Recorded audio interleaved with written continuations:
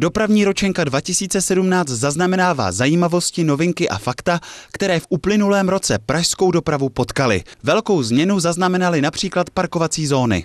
Podařilo se nám v loňském roce zařadit, zařadit do zón parkování jistě i městskou část Prahu 1 a Prahu 2 a rozšířit parkovací zóny na Praze 5, 6, 8 a 16. Neustále také roste počet registrovaných motorových vozidel. Máme přes milion 200 tisíc obyvatel a máme 850 tisíc zaregistrovaných osobních automobilů. Tenhle číslo je jedno z největších v Evropě, čímž v podstatě je Praha znevýhodněna, protože je velký tlak na komunikační síť vozilovou dopravou.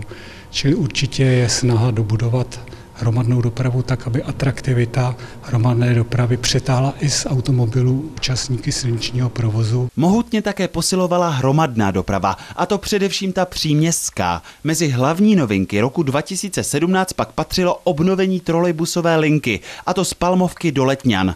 Čím dál větší oblibu zaznamenává doprava přes Vltavské břehy přívozem. Toto číslo vlastně stouplo o necelých 29% Regionální organizátor Pražské integrované dopravy dopravy chystá posilování spojů i na tento rok. Budeme žádat o to, aby bylo možné posílit eh, provoz metra o víkendech, takže bychom rádi zejména na linkách B a C eh, zkrátili víkendové intervaly ze 7,5 na 5, případně 6 minut. Z pražské dopravní ročenky ještě například vyplývá, že se neustále zvyšuje počet nehod v hlavním městě. Zároveň však rok od roku klesá počet smrtelně zraněných. Lukáš Kubat, Televize Praha.